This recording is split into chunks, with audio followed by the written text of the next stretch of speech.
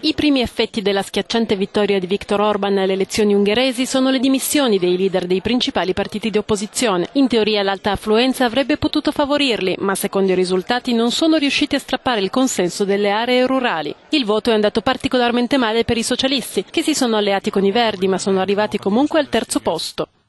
Adesso è evidente che non possiamo costruire una comunità democratica e un'alternativa democratica quando chi vive in campagna è lasciato solo. Al secondo posto è arrivato Jobbik, partito di destra nazional-conservatore, non più euroscettico. La campagna elettorale basata sulla lotta alla corruzione e sulle proposte per far tornare in patria i tanti ungheresi che lasciano il paese non ha pagato. L'obiettivo di Jobbik era di vincere le elezioni e ottenere un cambio nel governo. Non è stato ottenuto, ha detto in conferenza stampa il leader Gabor Vona. Fidesz ha vinto di nuovo, ha aggiunto.